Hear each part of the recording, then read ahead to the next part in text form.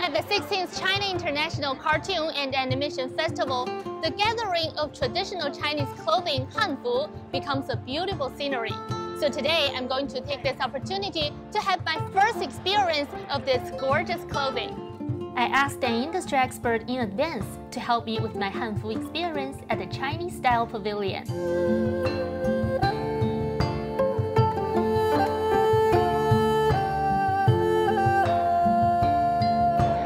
感觉你身高比较高挑，可能比较适合穿明制的汉服。然后今天呢又是中秋节，所以我这边有一套比较有中秋氛围的汉服可以推荐给你。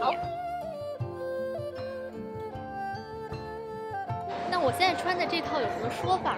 嗯，你穿的这一套呢叫做素月分辉，这是我们为中秋设计的一个特别款。那你可以看到这件衣服上有非常多秋天的元素，像你里面穿的这一件的形制叫做树领斜襟长衫。然后外面呢，这个是一个明制的披风，那后面有一轮这种中秋的圆月，然后有一些呃菊花的元素，还有中秋的玉兔。然后象征的寓意也是比较美满的，就是我们在传统的纹样中，然后又添加了一些比较现代可爱的元素，比较适合少女。汉服它的全称呢，就是汉民族的传统服饰。那我们这个汉民族的传统服饰也是分很多很多朝代的一些形制的，像你穿的这就是明朝的一种形制，那我穿的呢，这就是一个唐制的，像唐制的弹领襦裙这样子。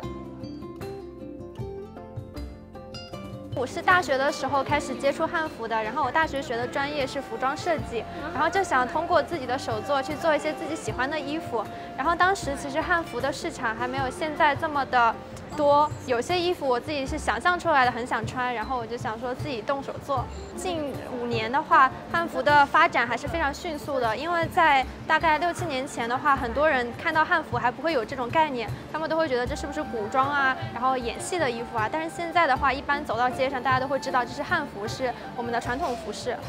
The Chinese Style Pavilion made its debut last year and soon became one of the most popular sections of the festival.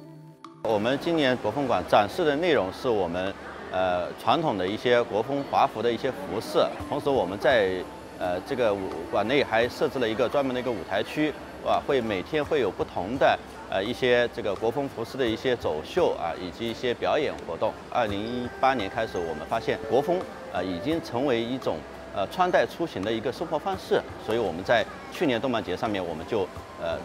尝试设置了一个国风馆，设置完了之后，我们发现这个效果非常好。我觉得汉服其实它让我们更沉醉的是它背后的汉文化，然后一些传统的美学，让我觉得，嗯，包括自己的生活方式啊，自己的思考方式都会有所改变。随着现在年轻人对汉服的喜爱，汉服一定会越来越被推广，一定会越来越日常化，然后像现代的时装一样被大家认可。